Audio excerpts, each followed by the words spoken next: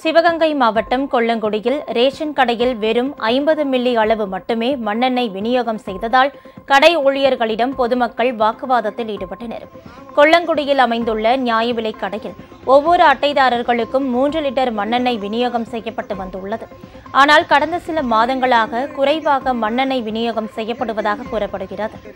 இந்நிலையில் நேற்று ரேஷன் கடையில் ஒவ்வொரு அட்டைக்கும் வெறும் ஐம்பது மில்லி அளவே ஊழியர்கள் மண்ணெண்ணெய் விநியோகம் செய்துள்ளனர்.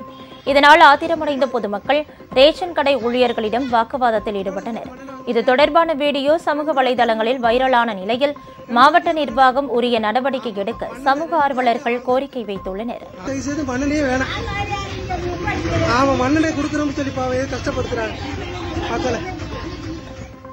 உங்கள் ராஜ் நியூஸ் தொலைக்காட்சியில் திங்கள் முதல் வெள்ளி வரை தினம்தோறும் பிற்பகல் இரண்டு மணிக்கு உங்கள் பகுதியில் உள்ள குறைகளை நேரலையில் தெரிவிக்கும் புகார் பெட்டி நிகழ்ச்சி. பங்கு பெறுங்கள் பயனடையுங்கள் காணத் தவறாதீர்கள்.